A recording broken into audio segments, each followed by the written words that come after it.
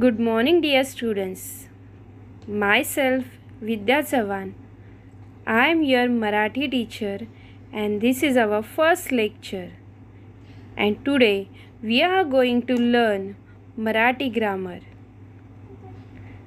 and the topic is शब्दांच्या जाती so students let start तर विद्यार्थ्यांनो आज आपण पाहूया शब्दांच्या जाती. शब्दांच्या जाती म्हणजे पार्ट्स ऑफ स्पीच शब्द शब्द म्हणजे काय? वर्ड शब्द म्हणजे वर्ड अनेक शब्द मिळून तयार होते ते वाक्य. अनेक शब्द मिळून तयार होते ते वाक्य. वाक्यात आपण वेगवेगळे शब्द वापरत जातो. तर या शब्दांच्या जाती किती आहेत ते आपण पाहूया. शब्दांच्या जाती एकूण आठ आहेत. आणि त्यांचे वर्गीकरण झालेत ते विकारी शब्द आणि अविकारी शब्द यांमध्ये. शब्दांच्या एकूण जाती विद्यार्थ्यांनो आठ आहेत आणि त्यांचे वर्गीकरण झालेले आहेत विकारी शब्द आणि अविकारी शब्द यांच्यामध्ये. तर या आठ जाती कोणत्या? नाम सर्वनाम विशेषण क्रियापद. या ज्या चार जाती आहेत या विकारी शब्दात येतात. आणि दुसरं क्रियाविशेषण अव्यय शब्दयोगी अव्यय उभयानव्य अव्यय केवळ प्रयोगी अव्यय या जाती येतात अविकारी शब्दांमध्ये. तर विद्यार्थ्यांनो शब्दांच्या जाती किती आहेत एकूण? आठ. कोणत्या आहेत? नाम सर्वनाम विशेषण क्रियापद क्रियाविशेषण अव्यय शब्द शब्दयोगी अव्यय उभयानव्य अव्यय केवल प्रयोगी अव्यय नाम म्हणजे नाऊन सर्वनाम सर्वनाम म्हणजे प्रोनाम विशेषण विशेषण म्हणजे ॲडजेक्टिव्ह क्रियापद क्रियापद म्हणजे वर्ब क्रियाविशेषण अव्यय क्रियाविशेषण अव्यय म्हणजे ॲडवर्ब शब्दयोगी अव्यय. शब्दयोगी अव्यय म्हणजे प्रिपोजिशन उभयानव्य अव्यय. उभयानव्य अव्यय म्हणजे कंजक्शन केवळ प्रयोगी अव्यय. केवळ प्रयोगी अव्यय म्हणजे इंटरजेक्शन तर अशा प्रकारे विद्यार्थ्यांनो शब्दांच्या एकूण किती जाती आहेत? आठ. आणि त्या दोन भागांमध्ये विभागल्या गेल्या आहेत. विकारी शब्द आणि अविकारी शब्द. तर विकारी शब्द म्हणजे अविकारी शब्द म्हणजे काय? विकारी शब्द किंवा अविकारी शब्द म्हणजे काय ते आपण पाहूया. विकारी शब्द म्हणजे बदल होणे. या शब्दांचा वाक्यात उपयोग करताना त्यांच्या मूळ रूपात बदल होतो. विद्यार्थ्यांनो विकारी म्हणजे काय? तर बदल होणे. उदाहरणार्थ आपण एखाद्या क्रियापदाचं घेऊया. क्रियापद. पिणे पिणे रमेश गटागट पाणी पितो. इथे जेव्हा आपण पिणे हा हे क्रियापद जेव्हा आपण वाक्यात वापरत आहोत तेव्हा आपण काय लिहित आहोत? रमेश गटागट पाणी पितो. म्हणजे पिणे हे क्रियापद आहे. पण जेव्हा आपण त्याचा वाक्यात उपयोग करतो तेव्हा आपण काय लिहित आहोत? पितो. म्हणजेच इथे काय झालेलं आहे? या क्रियापदाच्या मूळ रूपात बदल झालेला आहे. म्हणून यांना विकारी शब्द असे म्हटले जाते. या विकारी शब्दांमध्ये किती जाती येतात विद्यार्थ्यांनो? चार. नाम सर्वनाम विशेषण क्रियापद हे विकारी शब्द आहे. स्टूडेंट्स विकारी शब्दों में क्या होता है?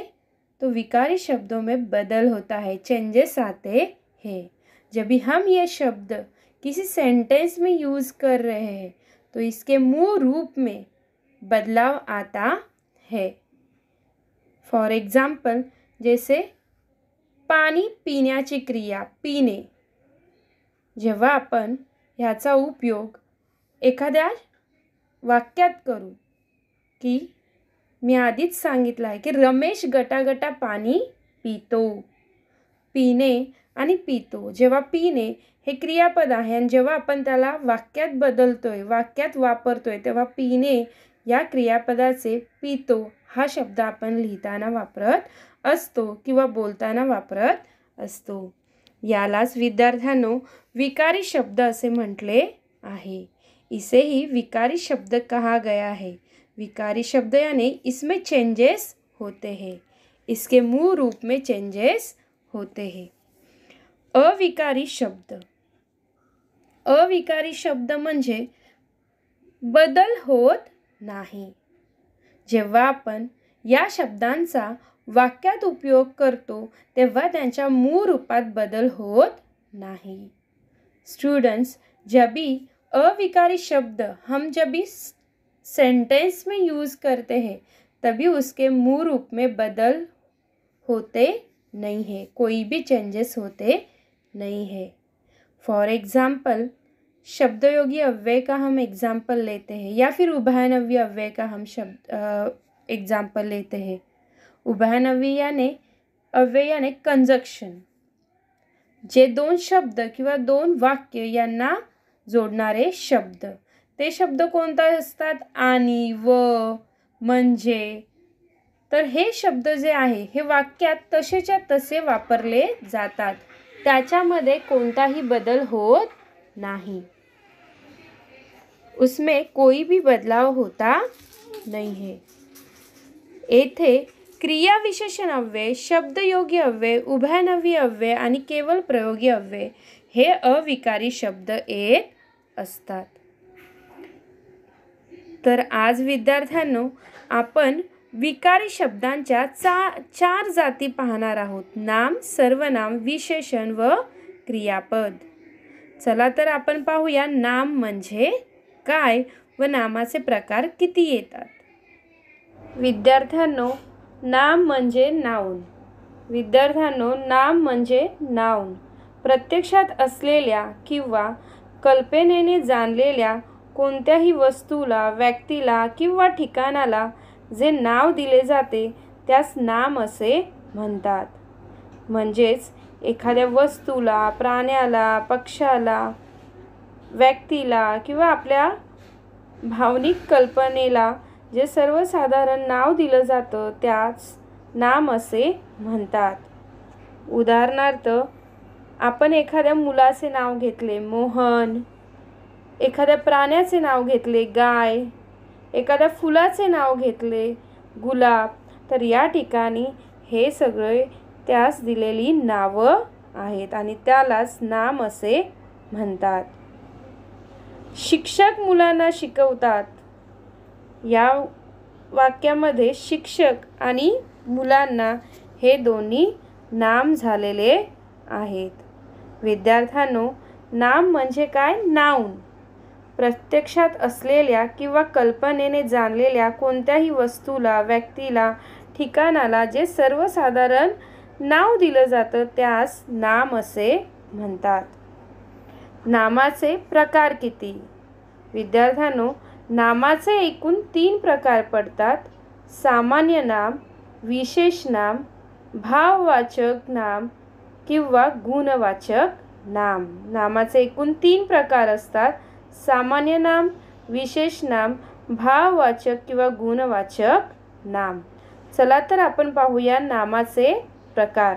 पहिला नामाचा प्रकार म्हणजे सामान्य नाम. विद्यार्थ्यांनो सामान्य नाम म्हणजे कॉमन नाम. एकाच जातीच्या सर्व पदार्थांना त्यांच्यातील सारखेपणामुळे किंवा सारख्या गुणधर्मामुळे जे नाव दिले जाते त्याला सामान्य नाम असे म्हणतात. एकाच जातीच्या सर्व पदार्थांना त्यांच्यातील सारखेपणामुळे किंवा सारख्या गुणधर्मामुळे जे नाव दिले जाते त्याला सामान्य नाम असे म्हणतात. सामान्य नाम म्हणजे कॉमन नाव. उदाहरण पहा. सुरेश हुशार मुलगा आहे.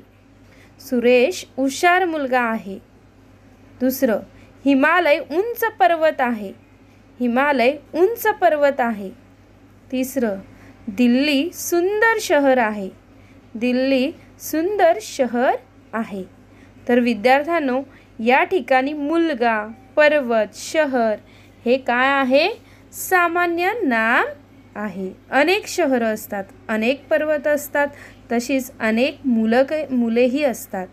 तर एकाच जातीच्या पदार्थांना त्यांच्या सारखेपणामुळे सारख्या गुणधर्मामुळे जे सर्वसामान्य नाव दिले जाते त्याला सामान्य नाम असे म्हणतात. सामान्य नाम असे त्यांना म्हटले जाते. या ठिकाणी मुलगा पर्वत शहर हे काय आहे? सामान्य नाम आहे. विद्यार्थ्यांनो पुढचा प्रकार म्हणजे विशेष नाम. नामाचा दुसरा प्रकार. ह्याची व्याख्या आपण पाहूया. ज्या शब्दाने संपूर्ण समूहाचा बोध होत नसून एका विशिष्ट व्यक्तीचा किंवा प्राण्याचा किंवा वस्तूचा बोध होतो त्याला विशेष नाम असे म्हणतात. आता तीच उदाहरणं आहेत. पहा बरं. पहिलं सुरेश हुशार मुलगा आहे. सुरेश हुशार मुलगा आहे. दुसरं हिमालय उंच पर्वत आहे. हिमालय उंच पर्वत आहे. तिसरं दिल्ली सुंदर शहर आहे. तर आता हे विशेष नाम कसं ते आपण पाहूया. या ठिकाणी आपण एका मुलाचं नाव घेत आहे. आपण एका पर्वताबद्दल सांगत आहोत. आपण एका शहराबद्दल ऐकत आहोत. म्हणजेच सुरेश कसा आहे? हुशार आहे. सुरेश पर्वत कोणता आहे? हिमालय. सुंदर शहर कोणतं आहे? दिल्ली. म्हणजेच ज्या शब्दांनी संपूर्ण समूहाचा बोध होत नाही तर इथे एका विशिष्ट व्यक्तीचा ठिकाणाचा शहराचा इथे उल्लेख केलेला आहे. आणि त्यालाच इथे काय म्हटलेलं आहे? विशेष नाम. म्हणजेच वरील वाक्यांमध्ये सुरेश हिमालय दिल्ली हे काय झाले विशेष नाम झालेले आहेत. विशेष नामाची व्याख्या आपण परत पाहूया. ज्या शब्दाने संपूर्ण समूहाचा बोध होत नसून एका विशिष्ट व्यक्तीचा किंवा प्राण्याचा किंवा ठिकाणाचा बोध होतो त्याला विशेष नाम असे म्हणतात. आता नामाचा तिसरा प्रकार. नामाचा तिसरा प्रकार म्हणजे भाववाचक किंवा गुणवाचक नाम. उदाहर उदाहरणे सेमच. सुरेश हुशार मुलगा आहे. हिमालय उंच पर्वत आहे. दिल्ली सुंदर शहर आहे. भाववाचक नाम म्हणजे काय? की ज्या नामातून वस्तूतील किंवा प्राण्यातील गुण किंवा भाव किंवा धर्म यांचा बोध होतो त्याला भाववाचक नाम किंवा गुणवाचक नाम असे म्हटले जाते. गुण म्हणजे क्वालिटी भाव म्हणजे फिलिंग्स जसं बघा सुरेश कसा आहे? हुशार मुलगा आहे. हिमालय पर्वत कसा आहे? उंच आहे. दिल्ली शहर कसे आहे? सुंदर आहे. तर नामातून आपल्याला त्या मुलाचे त्या पर्वताचे त्या शहराचे आपल्याला काय कळत आहेत? गुण कळत आहेत. म्हणूनच या नामांना भाववाचक किंवा गुणवाचक नाम असे म्हटले जाते. तर विद्यार्थ्यांनो हुशार उंच सुंदर हे काय आहेत? भाववाचक नाम आहेत. आपण पुन्हा एकदा व्याख्या बघूया. ज्या नामाने वस्तूतील किंवा प्राण्यातील त्यांचा गुण किंवा भाव किंवा धर्म यांचा बोध होतो त्याला भाववाचक नाम असे म्हणतात. या ठिकाणी आपण नामाचे विद्यार्थ्यांना एकूण किती प्रकार पाहिले? तीन. कोणते? ते बघा. सामान्य नाम विशेष नाम भाववाचक नाम. हे नामाचे एकूण किती प्रकार आहेत? तीन प्रकार आहेत. विद्यार्थ्यांनो हे झाले नामाचे प्रकार. आता शब्दांच्या जातीतला दुसरा घटक म्हणजे सर्वनाम. सर्वनाम म्हणजे प्रोनाम आता सर्वनामाची व्याख्या आपण पाहूया. विद्यार्थ्यांनो सर्वनाम म्हणजे वाक्यात पुन्हा पुन्हा येणाऱ्या नामाऐवजी वापरल्या जाणाऱ्या शब्दाला सर्वनाम असे म्हणतात. वाक्यामध्ये पुन्हा पुन्हा येणाऱ्या नामाऐवजी वापरल्या जाणाऱ्या शब्दाला सर्वनाम असे म्हणतात. उदाहरणं मी तुम्हाला सांगते की जुलिया बरीच उंच होती. जुलिया दिसायला सुरेख होती. सायकलवरून फिरायला जुलियाला खूप आवडते. जुलियाचे बाबा जिल्हा अधिकारी होते. जुलियाचा बंगला अगदी शहराबाहेर फार दूर होता. मी संध्याकाळी खेळायला जुलियाकडे जात असे. ऐकताना विद्यार्थ्यांनो तुम्हाला सतत एक नाव ऐकायला येते. ते म्हणजे कोणाचे? जुलियाचे कोणाचे? जुलियाचे म्हणजेच प्रत्येक वाक्यामध्ये पुन्हा पुन्हा येणारे नाम ते आहे जुलिया तर या नामाऐवजी वापरल्या जाणाऱ्या शब्दाला सर्वनाम असे म्हणतात. आता हेच उदाहरण आपण पुन्हा पाहूया. जुलिया बरीच उंच होती. जुलिया हे एका मुलीचं नाव आहे आणि ती बरीच उंच होती. ती दिसायला सुरेख होती. ती अतिशय सुंदर दिसत होती. म्हणजे जुलियाच्या ऐवजी ती हा शब्द वापरला गेला आहे. सायकलवरून फिरायला तिला खूप आवडते. इथे जुलियाच्या ऐवजी तिला वापरलेलं आहे. तिचे बाबा जिल्हा अधिकारी होते. जुलियाच्या ऐवजी तिचे वापरले आहे.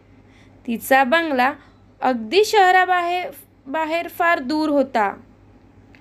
मी संध्याकाळी खेळायला तिच्याकडे जात असे. तर विद्यार्थ्यानं इथे ती तिला तिचे तिचा तिच्याकडे हे काय आहेत? नामाच्या ऐवजी वापरले जाणारे शब्द आहेत. वाक्यात पुन्हा पुन्हा नामाचा म्हणजे जुलियाचा उल्लेख केला नाही तर त्याच्याऐवजी वापरले जाणारे हे शब्द आहेत. ती तिला तिचे तिचा तिच्याकडे. बरोबर? तर या शब्दांना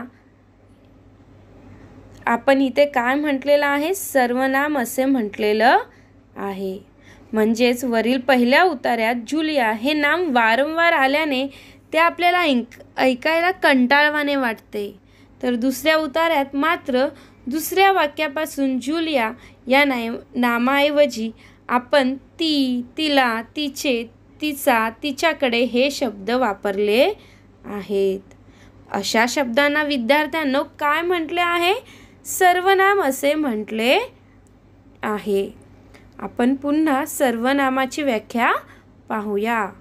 वाक्यात पुन्हा पुन्हा येणाऱ्या नामाऐवजी एकाच वाक्यात पुन्हा पुन्हा येणाऱ्या नामाऐवजी वापरल्या जाणाऱ्या शब्दाला सर्वनाम असे म्हणतात. विद्यार्थ्यांनो मुख्य सर्वनामे कोणती असतात ती आपण पाहूया.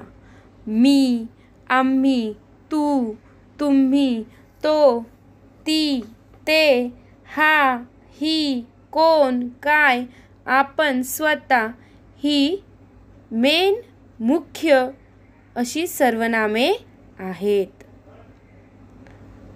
विद्यार्थ्यांनो वाक्यात पुन्हा पुन्हा येणाऱ्या नामाऐवजी वापरल्या जाणाऱ्या शब्दांना सर्वनाम असे म्हणतात. आता आपण पाहूया की सर्वनामानंतर आपल्या शब्दांच्या जातीत येणारा तिसरा घटक म्हणजे विशेषण. विद्यार्थ्यांनो शब्दांच्या जातीतील तिसरा घटक म्हणजे विशेषण. विशेषण ॲडजेक्टिव आपण आता विशेषणाची व्याख्या पाहूया. नामाबद्दल किंवा सर्व नामाबद्दल विशेष माहिती सांगणाऱ्या शब्दाला विशेषण असे म्हणतात. नाम आणि सर्वनामाविषयी विशेष माहिती सांगणाऱ्या शब्दाला विशेषण असे म्हणतात. या ठिकाणी उदाहरणं दिलेली आहेत ती पाहूया. राम हुशार विद्यार्थी आहे. राम कसा आहे? हुशार आहे. म्हणजेच आपल्याला राम या नामाविषयी अधिक माहिती हुशार या शब्दातून मिळते. कावळा काळ्या रंगाचा असतो. कावळा कसा असतो? काळ्या रंगाचा. म्हणजेच नामाबद्दल आपल्याला विशेष माहिती कोणत्या शब्दातून मिळते? काळ्या. तर या ठिकाणी विद्यार्थ्यांनो विशेषण म्हणजे काय? नामाबद्दल विशेष माहिती सांगणाऱ्या शब्दाला विशेषण असे म्हणतात. आता आपण पाहूया क्रियापद. क्रियापद म्हणजे वब शब्दांच्या जातीतला चौथा घटक. व्याख्या. क्रियापद म्हणजे वाक्याचा अर्थ पूर्ण करणाऱ्या क्रियादर्शक शब्दाला क्रियापद म्हणतात. क्रियापद म्हणजे वाक्याचा अर्थ पूर्ण करणाऱ्या शब्दाला क्रियादर्शक शब्दाला क्रियापद असे म्हणतात. उदाहरणार्थ जात होता करतो जेवतो खातो पि पितो इत्यादी. उदाहरणार्थ काय सांगितलं आहे की ज्याच्यातून आपण त्यांना काय म्हणतो? ॲक्शन वर्ड्स काय म्हणतो? ॲक्शन वर्ड्स म्हणजेच आपल्याला क्रिया करताना आपल्याला कळत असते. वाक्याचा अर्थ पूर्ण करणाऱ्या क्रियादर्शक शब्दाला क्रियापद असे म्हणतात. आता आपण पाहूया. लक्ष्मण केळ खातोय. लक्ष्मण केळ खातोय. सीमा अभ्यास करते. सीमा अभ्यास करते. रवी गटागटा पाणी पितो रवी गटागटा पाणी पितोय. चिनू रडत आहे. चिनू रडत आहे. तर पुढील चित्रातील सोनू हा हसत आहे. सोनू काय करत आहे? हसत आहे. तर हे हसणे रडणे पाणी पिणे खाणे हे सगळं काय झालं? क्रियापद. काय झालं? क्रियापद. म्हणजेच वरील या चित्रातून आपल्याला खाण्याची पिण्याची अभ्यास करण्याची रडण्याची हसण्याची क्रिया व्यक्त होताना दिसते. म्हणजेच क्रियादर्शक शब्द हे आहेत. शिवाय त्या शब्दांमुळे वाक्याचा अर्थ पूर्ण होतो. म्हणून वरील ही जी वाक्य आहेत खाणे पिणे रडणे हसणे अभ्यास करणे ही काय आहेत? क्रियापदे आहेत. तर विद्यार्थ्यांनो अशा प्रकारे शब्दांच्या जाती आपण पाहिलेल्या आहेत आणि त्याही विकारी. त्या म्हणजे नाम विशेषण सर्वनाम आणि क्रियापद. नाम सर्वनाम विशेषण आणि क्रियापद. आणि या शब्दांच्या जातीतून आपल्याला काय कळालेलं आहे? की ह्या कशा जाती आहेत? विकारी.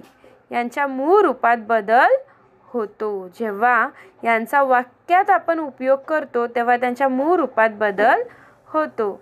म्हणून ह्या विकारी जाती आहेत. नाम सर्वनाम विशेषण आणि क्रियापद. विद्यार्थी मित्रांनो पुढील लेक्चरमध्ये आपण शब्दांच्या जाती पाहणार आहोत पण अविकारी. अविकारी जातींचा आपण पुढील लेक्चरमध्ये अभ्यास करणार आहोत. धन्यवाद मित्रांनो.